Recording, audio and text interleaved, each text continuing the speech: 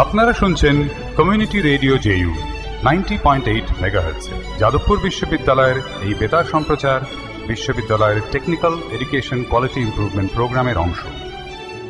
সব রকম মানুষের প্রয়োজনে আমরা দায়বদ্ধ, ভিন্ন ধরনের, মননশীল অনুষ্ঠান প্রচার। Community radio JU ninety point eight megahertz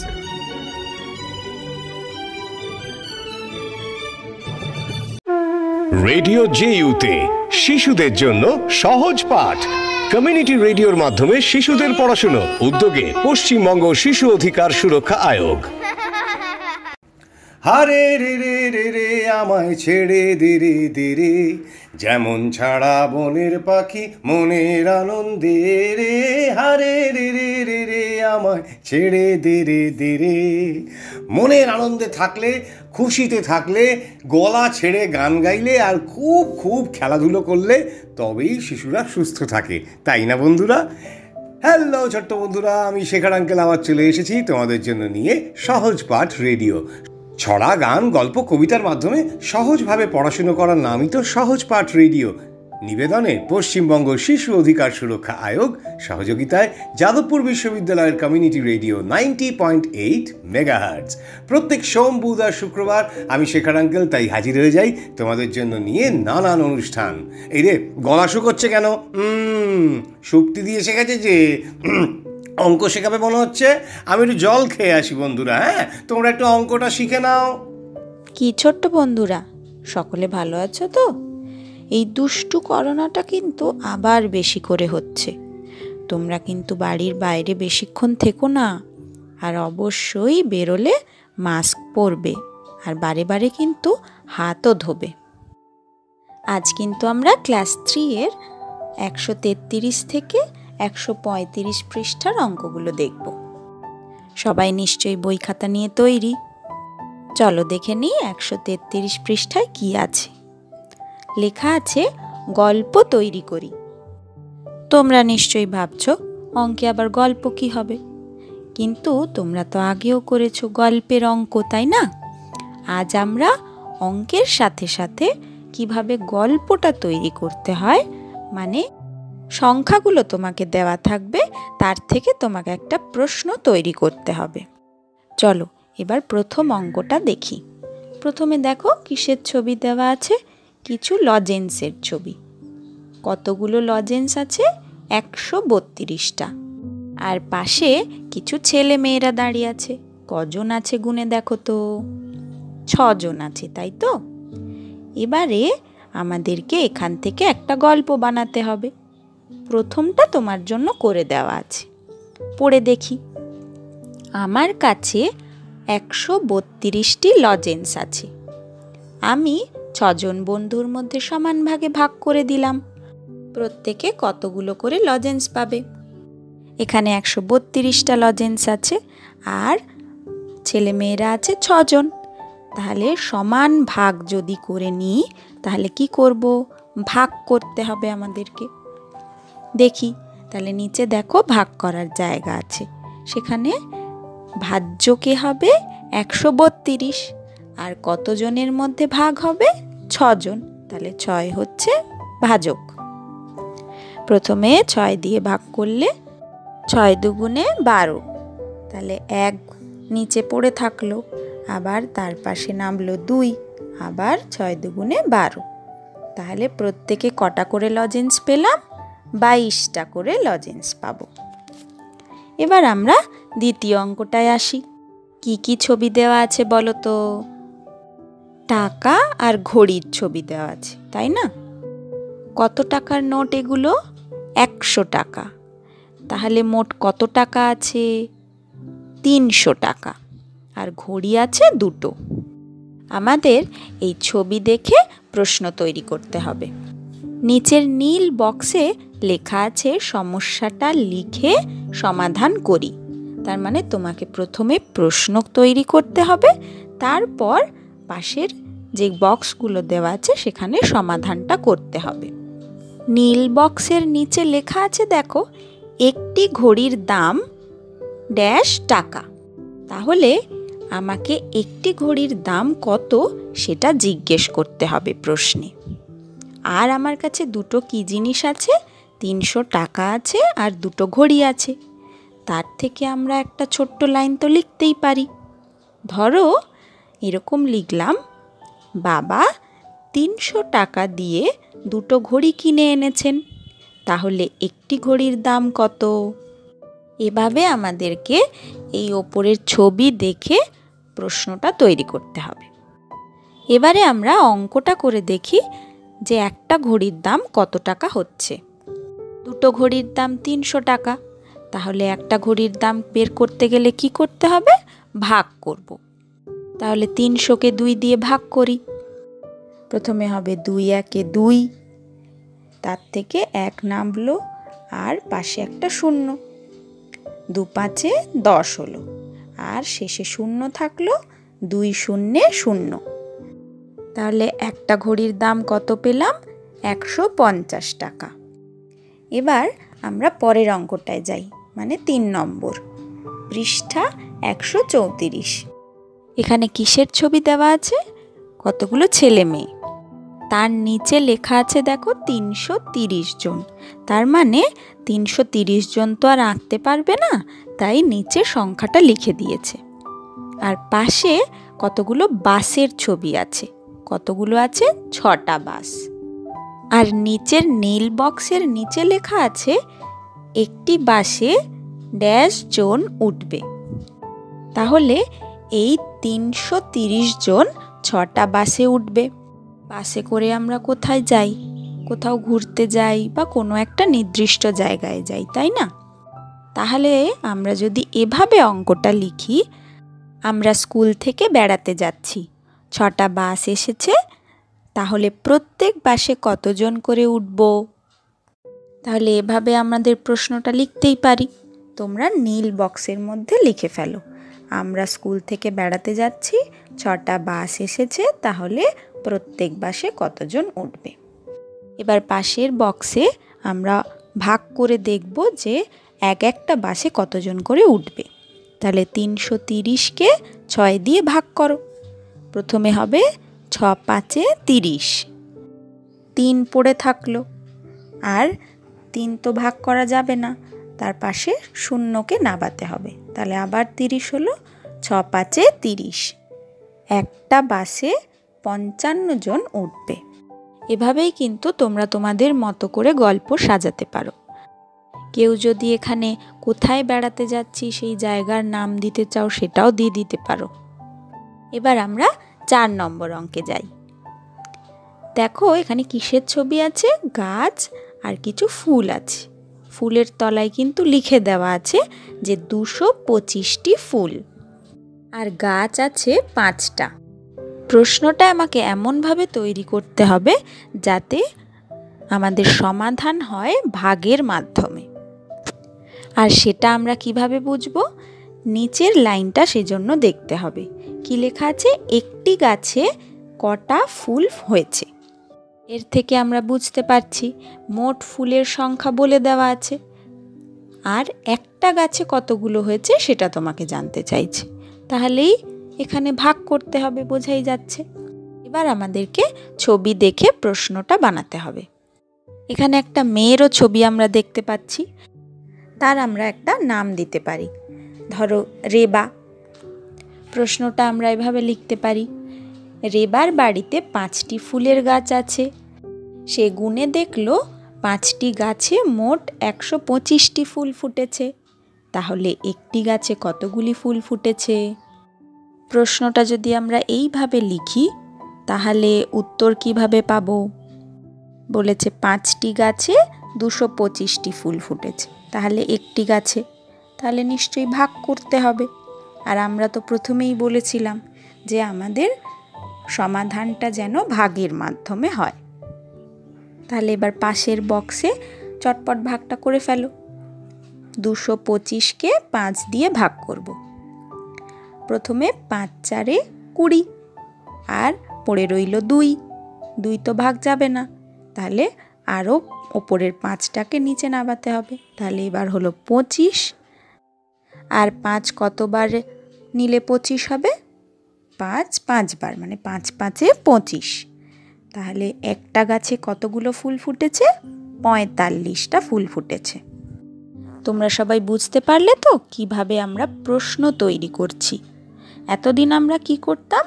কিছু একটা প্রশ্ন থাকতো বা গল্প থাকতো, সেটা থেকে আমরা সমাধান করতাম। কোনোটা ভাগ করে সমাধান করতাম, কোনোটা গুণ, কোনোটা যোগ, কোনোটা বিয়োগ। এখন আমাদেরকে কি করতে হবে? আমাদের কাছে কিছু সংখ্যা দেওয়া থাকবে। আর সেখান থেকে আমাদেরকে একটা প্রশ্ন বা সমস্যা বা গল্প তৈরি করতে হবে। এবার আমরা একশো পঁয়ত্রিশ পৃষ্ঠায় চলে আসি। এগুলো তোমরা আগের অধ্যায়ই করেছ। আর একবার আমরা দেখে নিই। কী দেওয়া আছে? একশো সাতকে পাঁচ দিয়ে ভাগ করতে হবে। চটপট করে ফেলো তোমরা। পাশের বক্সও করা আছে, তার মধ্যে করে ফেলো। পাঁচ প্রথমে দুবারে যাবে, পাঁচ দুয়ে দশ, আর বাকি থাকল সাত। তাহলে পাঁচ একে পাঁচ, আর পড়ে থাকবে দুই। দুই তো আর ভাগ করা যাবে না। এবার নিচে লেখা আছে ভাজ্য। ভাজ্য মানে কি? যাকে ভাগ করা হয়েছে। কাকে ভাগ করা হয়েছে? একশো সাত। তাহলে লিখে দাও একশো সাত। ভাজক মানে যাকে দিয়ে ভাগ করা হয়েছে। তার পাঁচ দিয়ে ভাগ করেছি। পাঁচ হলো ভাজক। ভাগফল। ভাগফল মানে ভাগ করে যেটা উত্তর পেয়েছি মানে একুশ। আর ভাগ শেষ মানে যেটা শেষে বাকি থেকে গেছে। বাকি আছে দুই। তাহলে ভাগ শেষ দুই। এবার দেখো নিচে লেখা আছে ভাজক গুণ ভাগফল যোগ ভাগশেষ এইটা আমরা কোথায় শিখেছিলাম? আগের অধ্যায়। কেন শিখেছিলাম? যে ভাগ আমরা ঠিক করেছি কি না সেইটা দেখার জন্য এইভাবে করতে হবে। মানে ভাজ্যকে বের করতে হবে। আর ভাজ্য এখানে কত ছিল? একশো সাত। তাহলে প্রথমে ভাজক মানে পাঁচ গুণ ভাগফল মানে একুশ। আর যোগ দুই মানে ভাগশেষ। এইটা করো। প্রথমে আগে একুশের সঙ্গে পাঁচ গুণ করো। দেখো কত হয়। একশো পাঁচ হবে, দেখো। আর তার সঙ্গে যদি দুই যোগ করি, একশো পাঁচের সঙ্গে, একশো ছয়, একশো সাত, তাহলে ভাজ্য কত পেলাম? একশো সাত। আর আমাদের প্রথমেও তো একশো সাতই ছিল। তাহলে আমরা ভাগটা ঠিক করেছি, তাই তো? এবার আমরা দু নম্বরে যাই। দু নম্বরে দেওয়া আছে দুশো তিনকে চার দিয়ে ভাগ করতে হবে। করো। প্রথমে দুই তো হবে না, কুড়ি নিতে হবে। তাহলে চার পাঁচে হবে কুড়ি। আর তিন পড়ে আছে, তিনকে না বাও তাহলে তিন তো হবে না চার দিয়ে ভাগ, তাহলে চার শূন্যে শূন্য হয়ে গেল, আর পড়ে থাকল তিন। এবারে আমাদের ভাগটা ঠিক হয়েছে কিনা সেটা করে দেখতে হবে। তার নিয়ম কি? ভাজক লিখে দেওয়া আছে, বাকিগুলো তোমরা লেখো। গুণ ভাগফল যোগ ভাগশেষ। সমান প্রথমে ভাজক লিখতে হবে, ভাজক চার, তারপর ভাগফল। ভাগফল কত বেরোলো? পঞ্চাশ। যোগ ভাগশেষ ভাগশেষ তিন। তাহলে প্রথমে পঞ্চাশ গুণ চার। চার শূন্য শূন্য আর চার পাঁচে কুড়ি, দুশো হলো। আর যোগ তিন, তাহলে দুশো আর তিন মিলিয়ে দুশো তিন। আর দুশো তিনই তো প্রথমে ছিল, ভাজ্য। তাহলে আমরা ঠিক করেছি অঙ্কটা। তাহলে আজকের অঙ্কগুলো আমরা সবাই বুঝতে পারলাম তো? এই নিচের যেগুলো রয়েছে, তিন, চার, পাঁচ, ছয়, এগুলো কিন্তু তোমাদের বাড়ির কাজ রইল। তিন নম্বরটা এই একইভাবে দুইয়ের মতো আর একের মতো। আর চার, পাঁচ, ছয়, এগুলো হলো প্রশ্নের অঙ্ক বা গল্পের অঙ্ক। এগুলো তোমরা পড়বে আর সমাধানগুলো বাড়িতেই চেষ্টা করবে, কেমন? আজ তাহলে এই পর্যন্তই। অন্যদিন আমরা অন্য কোনো অঙ্ক শিখে নেব। টাটা! রেডিও জেইউতে শিশুদের জন্য সহজ পাঠ। কমিউনিটি রেডিওর মাধ্যমে শিশুদের পড়াশুনো, উদ্যোগে পশ্চিমবঙ্গ শিশু অধিকার সুরক্ষা আয়োগ। ছোট্ট বন্ধুরা, তোমরা শুনছো সহজ পাঠ রেডিও। সঙ্গে আমি শেখার আঙ্কেল। সহজ পাঠ রেডিও তোমাদের জন্য নিয়ে আসে পশ্চিমবঙ্গ শিশু অধিকার সুরক্ষা আয়োগ। সহযোগিতায় যাদবপুর বিশ্ববিদ্যালয়ের community radio ninety point eight megahertz আর আজকের পর্বে অঙ্ক তো শিখলাম একটু গল্প হলে ভালো হয় না তাই নিখাত আন্টি চলে এসেছে চলো বাচ্চা লোক শুন লেতে হ্যাঁ এক ফটাফটি কাহানি over to Nikhat aunty good morning बच्चों कैसे हो उम्मीद करते आप लोग सभी बहुत अच्छे होंगे मैं Nikhat Parveen save the children से आज आपके साथ बातें करूँगी ठीक है सारा दिन हम लोग क्या करते हैं बच्चों? बहुत सारा मस्ती खेल कूद और साथ में कुछ पढ़ाई भी, ठीक? पढ़ाई पढ़ाई बहुत हुई। चलो आज हम लोग एक कहानी सुनते हैं। अभी कौन सा मौसम चल रहा है? गर्मी का मौसम है। बहुत गर्मी है है ना? ऐसे ही एक नन्ही सी लड़की थी जो बहुत गर्मी के समय अपने घर में बैठी थी। चलो, ये कहानी का नाम है रिमझिम बरसा आई और इसके लेखक हैं नवनीता देशमुख। अच्छा आप लोगों को कहानी सुनना कैसा लगता है? बहुत मज़ा आता है ना कहानी सुनने में। हम लोग भी आज एक कहानी सुनते हैं। तो आप लोग सब तैयार हो? ध्यान से सुनना। तपती दोपहर का दिन था। घर के सारे दरवाजे बंद थे। मैं अपने कमरे में बैठी थी। तभी खिड़की पर हुई खट खट कौन हो सकता है? अरे, ये तो बरसा रानी थी। मैं खुशी से चिल्लाई और घर के बाहर आई। आँगन के सूखे कुएँ के लबालब भरे पानी पर मुस्कुराती, मुस्कुराहट छाई। किसने किया ऐसा? किसने किया? बोलो बोलो। बस सोच रही, किसने किया किसने किया ये? कुआँ तो एकदम ही सूखा था, अभी इसमें लबालब पानी है। अरे, ये तो वर्षा रानी थी। मैं अपने पिता को पुकारने लगी। वो तो खेत पर गए थे। उन्होंने जो बीज रोपे थे, वे फूटने लगे थे। उगने में उनकी मदद किसने की थी? सोचो सोचो, ये बीज उगे। उगने में मदद किसने की थी? कौन बताएगा? बोलो बोलो, किसने मदद की थी? बहुत अच्छे। अरे, ये तो वर्षा रानी थी। माँ माँ, मैंने आवाज़ लगाई। माँ झरने पर कपड़े धो रही थी। सूखा हुआ झरना। अब कलबल बह रहा था, कलकल बह रहा था। किसने भरा था इसे? अरे, ये तो वर्षा रानी थी। बाहर बगीचे में मोर नाच रहा था। एक रंगीन पंखे पंखे की तरह पंख फैला रहा था। किसने उसे खुश किया था? अरे, ये तो वर्षा रानी थी। स्कूल से लौटते समय कीचड़ में मैंने छप छप की। छीटे, उछले गंदे हुए जूते और गंदे हुए मेरे कपड़े भी। ये देखकर नाराज़ हुई माँ और किस पर दोष लगाया? अरे, ये तो वर्षा रानी थी। आप लोग करते हो ऐसा? स्कूल से आते वक्त कीचड़ में छपा छप वेरी गुड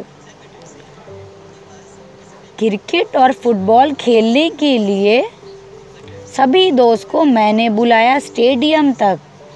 स्टेडियम तक दौड़ आया। हमने खूब मस्ती की। फिर किसने मुझे बुलाया? अरे, ये तो वर्षा रानी थी। वो खिड़की पर मेरे खटखट करती है। कुएँ को वो लबालब भर देती है। खेतों को सींचती है। सूखे झरने को भर देती है। हमारे कूदने और खेलने के लिए हर तरफ़ कीचड़ कर देती है। स्टेडियम को साफ़ कर खेल में मस्ती भर देती है। रिमझिम बरस कर मुझे खुशी वो देती है। वो तो मोर, तब तो मोर भी नाचने लगते हैं। प्रकृति भी खिलखिला उठती है। ये मेरी प्यारी वर्षा है। ये झिलमिल वर्षा रानी है। चलो हम अभी हम लोगों ने जो कहानी सुनी वो अ, किस चीज़ के ऊपर थी? वर्षा के ऊपर थी। है ना? हमें बारिश की ज़रूरत बहुत पड़ती है। पड़ती है ना?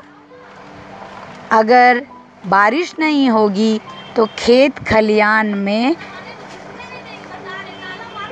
खेत खलियान कैसे अच्छे रहेंगे? बारिश नहीं होगी तो पेड़ पौधे कैसे उगेंगे? बारिश नहीं होगी तो झरना कैसे बहेगा? बारिश नहीं होगी तो नदी में पानी कैसे होगा? और नदी नाले कैसे भरेंगे? तो पानी की बहुत ज़रूरत पड़ती है हम लोगों को। रोज़मर्रा की ज़िंदगी में भी पानी बहुत ज़रूरी होता है नहाने के लिए, पानी पीने के लिए, घर के कामों में, बर्तन धोने के लिए, कपड़े धोने के लिए, हर चीज़ में ही पानी बहुत ज़रूरी होता है। तो एक दिन वर्षा रानी हमसे नाराज़ हो गई। क्यों नाराज़ हो गई? वो देखती थी कि लोग पानी बहुत बर्बाद करते थे। नल खुले पड़े हैं, काफ़ी जगह पानी बस रहा है और ज़रूरत से ज़्यादा पानी लोग इस्तेमाल कर रहे हैं। पीने का पानी बर्बाद करते हैं तो वर्षा रानी नाराज़ हो गई और वो बरसना, बारिश, बरसाना बंद कर गई। तो क्या हुआ? जगह जगह हाहाकार मच गया और सूखा पड़ने लगा। खेत में अनाज उगने बंद हो गए। तो एक दिन सब लोगों ने प्रार्थना किया वर्षा रानी से और कहा कि हम लोग ऐसा कभी नहीं करेंगे, पानी नहीं बर्बाद करेंगे। और सभी लोगों ने उस दिन शपथ ली कि हम ज़रूरत से ज़्यादा पानी नहीं बर्बाद करेंगे। जितनी ज़रूरत होगी, हम उतने पानी का खर्च करेंगे और बाकी पानी जमा करके रखेंगे। तो ये जो विनती थी, सब लोगों ने वर्षा रानी से की और वर्षा रानी ये विनती सुनकर फिर से बरसने लगी और काफ़ी जगह पानी बरसा। लोगों ने जगह जगह पे बारिश का पानी को जमा किया और उस पानी के तरह तरह इस्तेमाल किए। तरह तरह इस्तेमाल करने लगे, जैसे बागीचों में पानी देना, बाथरूम में पानी का इस्तेमाल करना, वर्षा का पानी, उस पानी से कपड़े धोना, बर्तन धोना, हाथ धोना और इस तरह से पानी का सही उपयोग करने लगे। तो बच्चों, हमें इससे यही सीख मिलती है कि हमें कभी भी पानी को बर्बाद नहीं करना चाहिए और पानी को अच्छे से इस्तेमाल के साथ साथ उसे जमा की, जमा करके रखनी चाहिए। आगे के समय के लिए जब भी बारिश आए तो हमें बारिश का पानी को जमा करके रखना चाहिए और पीने का पानी जो नल से आता है, उस नल के ऊपर चाबी लगा देना चाहिए या कोई और चीज़ का इस्तेमाल करना चाहिए ताकि वो पानी बर्बाद ना हो। है ना? और गर्मियों के वक्त में बहुत ज़रूरत पड़ती है पानी की तो हमें पानी का कदर करना चाहिए और उसे बर्बाद नहीं करना चाहिए, है ना? तो बहुत और क्या हुआ? वर्षा रानी बहुत बार बरसती थी, फिर धीरे धीरे जगह जगह पे लोग जनों ने पेड़ काटना शुरू कर दिया और उस कारण से बरसात होनी कम हो गई। तो फिर लोगों ने सोचा कि अरे, ये तो पानी नहीं बरस रहा है और हमें बहुत ज़्यादा वर्षा की ज़रूरत है और वर्षा रानी अभी हमसे मिलने बहुत कम आती है। तो फिर लोगों ने सोचा कि हमें ज़्यादा पेड़ लगानी चाहिए और पेड़ काटना नहीं चाहिए। तो सभी लोगों ने मिलकर के बहुत सारे पेड़ लगाए, बहुत सारे पेड़ लगाने के कारण बारिश होने लगी। और पता है, ये जो बारिश होती है, वो कैसे होती है? ये जो नदी नाला का जो पानी है, गर्मी में वो जो गर्म होता है और और भाप बन के उड़ जाता है और ऊपर आसमान में बादल बन जाता है। भाप जाके ऊपर आसमान में बादल बन जाता है और बादल में, बादल मेघ भी उसे कहते हैं, मेघ बन जाता है और जब धीरे धीरे वो जमा होता है, मेघ बनता है जाता है जाता है और भारी हो जाता है। जब वो भारी हो जाता है और वो संभाल नहीं पाता और वो फिर से बारिश बन के बह जाता है, वही नदी नाले में आ जाता है। फिर वो भाप बन के उड़ जाता है, बादल बनता है और फिर जब बादल भारी होता है, देखते हो आप लोग काले काले बादल छाते हैं, वो पानी ऊपर भाप बन कर जा कर के भारी हो जाता है और काला मेघ बन जाता है। और फिर वो बारिश हो जाता है। इसी तरह ये चक्र चलता रहता है। तो हमें चाहिए कि हमें पानी का सही इस्तेमाल करना चाहिए और पानी नहीं बर्बाद करना चाहिए। और ये वर्षा होए, उसके लिए हमें हमेशा पेड़ पौधे लगाने चाहिए अपने अपने घर के आसपास। आप लोग स्कूल में भी अपने पेड़ पौधे लगाते हो, उसे भी ध्यान से और जतन के साथ बड़ा करो। उसमें समय समय में पानी डालो और पानी, वही पानी डालो जो बारिश के टाइम पे बरसता है, उसे जमा करके, पीने का पानी को पीने के वक्त इस्तेमाल करना चाहिए। और स्कूल में हम लोगों का जो मिड डे मील बनता है, खाने के वक्त, खाना बनता है, आलू धोया हुआ पानी, चावल धोया हुआ पानी को भी हम लोग पेड़ में डाल सकते हैं। इस तरह से भी हम पानी बचा सकते हैं। है ना बच्चों? तो हमें कभी भी पानी बर्बाद नहीं करनी चाहिए, क्योंकि पानी की ज़रूरत हम सभी को पड़ती है हमें पड़ती है, पक्षियों को पड़ती है। नदियों, नदी सूख जाएगी तो पानी कैसे मिलेगा हम सभी को? और नदी, नाला, झरना, ये सब बहुत ज़रूरी है। तो हमें प्रकृति को, का ध्यान रखना चाहिए और उसे नष्ट नहीं करना चाहिए और उसकी देखभाल करनी चाहिए। तो इस तरह से हम सभी बहुत खुशी खुशी इस पृथ्वी पे रह सकते हैं। है ना बच्चों? तो हमें हमेशा प्रकृति का सम्मान करते हुए उसका सही उपयोग करना चाहिए, ना कि उसका दुरुपयोग करना चाहिए। तो तो बच्चों हम लोग क्या करेंगे? इस गर्मी में हम लोग बहुत सारे इस गर्मी में फल आएँगे। फल का बीज को हम लोग क्या कर सकते हैं? उसे ज़मीन में गाड़ कर एक बीज बो सकते हैं। वो बीज जो कल पौधा बनेगा और वही पौधा बड़ा होकर पेड़ बनेगा। है ना बच्चों? और जब पेड़ बहुत सारे लगेंगे तो गर्मी कम होगी और वर्षा आएगी, बारिश होगी तो हम सभी बहुत खुश हो जाएँगे और बहुत मज़े से रहेंगे। ठीक है बच्चों? पानी का इस्तेमाल हम लोग सही तौर पे करेंगे। और क्या करेंगे हम लोग? पानी बचाएँगे और पानी का सही उपयोग करते हुए उसे बचा कर रखेंगे ताकि पानी बर्बाद ना हो और सभी को पानी मिले और हम लोग सभी मिल मिलजुल करके रहें और खुशी खुशी रहें। है ना बच्चों? अच्छा आप लोग एक काम करो। हम लोग पानी किस किस तरह से बचा सकते हैं? क्या क्या कर सकते हैं पानी बचाने के लिए? पानी का सही इस्तेमाल क्या होना चाहिए? है ना? उसके ऊपर आप लोग अपनी अपनी तरह से लिख सकते हो। आप लोग लिखना किस तरह हम लोग पानी बचाएँ और किस तरह हम अपनी प्रकृति को अच्छा कर सकते हैं। है ना?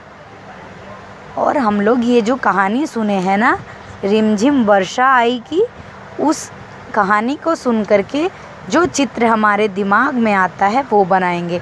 तो ये है आप लोगों का काम, जो आप लोग अपने घर बैठे करोगे और ये बारे में अपने माता पिता से भी बात करोगे, अपने दोस्तों को भी बचा, बताओगे कि क्या क्या कर सकते हैं हम लोग।